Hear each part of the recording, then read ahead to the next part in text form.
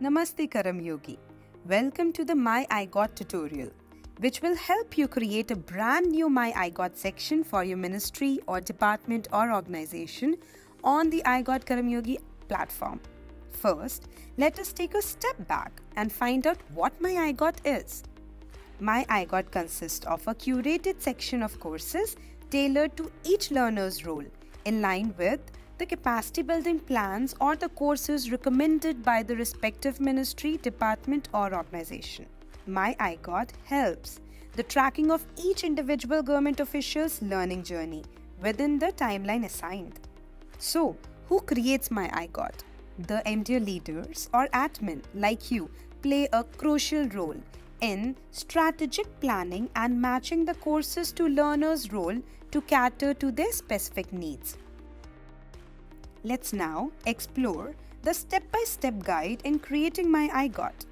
First, log in into MDO portal and go to Training Plan tab. Click on Create CBP to initiate the process. Next, fill in the plain title. Then move to the Add Content tab and select the course program available on iGot Karmayogi platform that matches the capacity building plan and also the mandated courses by Department of Personnel and Training. Now proceed to Add Assignee to include learners based on designation, all users and custom users. Following that, add timeline to the training plan. Assign a deadline to each selected course to establish a structured timeline for the course completion. Finally, save what you have done at My iGot by clicking on the Save Draft button.